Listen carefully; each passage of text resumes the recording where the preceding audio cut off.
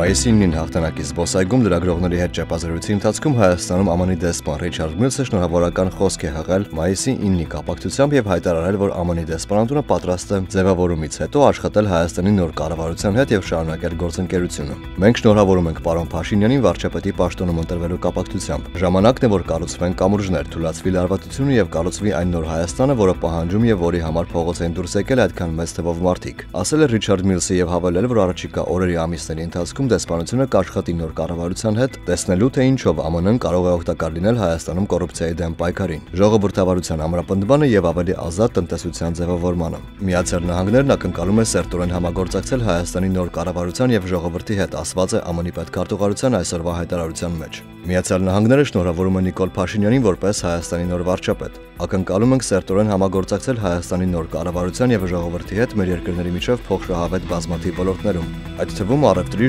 ժողովրդավարության, օրենքի գերակայության աջակցության եւ տարածաշրջանային եւ գլոբալ կայունության ապահովման ուղղությամբ։ Ասված է ԱՄՆ-ի պետքարտուղարության այսօրվա հայտարարության մեջ։